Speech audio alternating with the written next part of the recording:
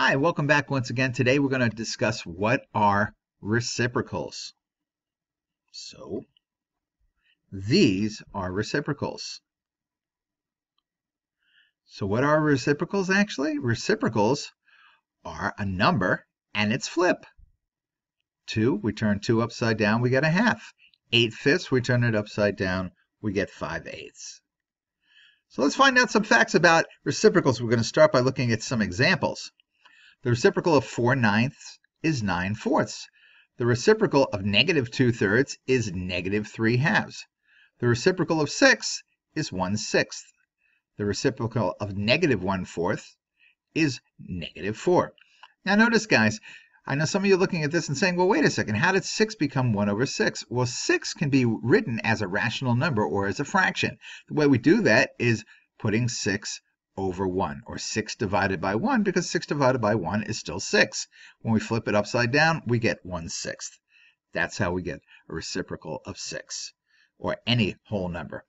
What is the product of these reciprocals? 4 ninths times 9 fourths. Product means multiplying, so we're multiplying these two reciprocals. What's the product of these reciprocals? Negative 2 thirds times negative 3 halves. What's the product of these reciprocals? 6 times 1 sixth and what is the product of these reciprocals? Negative 1 fourth and negative 4. In each case, guys, believe it or not, the product is the same. It always comes out to 1. So whenever you multiply reciprocals, the answer becomes 1. The product of a number and its reciprocal is always 1. Another fact, a reciprocal is what to multiply a value by to get 1. What do I mean by that? Well, given this equation, 3 fourths times x equals 6, how can I change the coefficient of x from 3 fourths to 1? And that'll help me solve this equation. Well, the coefficient here is 3 fourths.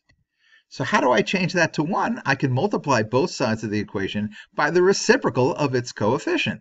So if the coefficient is 3 quarters, I can multiply it by 4 thirds because, like it says, a reciprocal is what to multiply a value by to get it to be 1.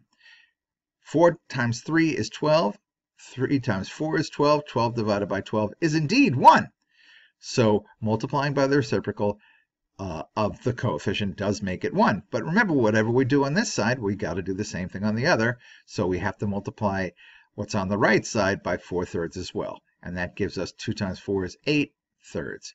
So our solution to this equation is actually 8 thirds. Here's some questions about reciprocals. What number has no reciprocal? The answer is zero. Zero is the only number that has no reciprocal.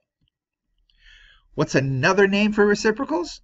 Multiplicative inverses. In a previous video, we talked about additive inverses. That's when you take a number and its opposite.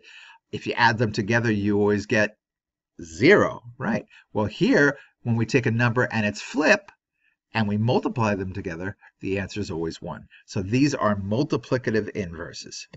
That's it, guys. If you have any other questions, you know what to do. Either send me an email, leave something in the comments below, or ask me in class. Have a good one.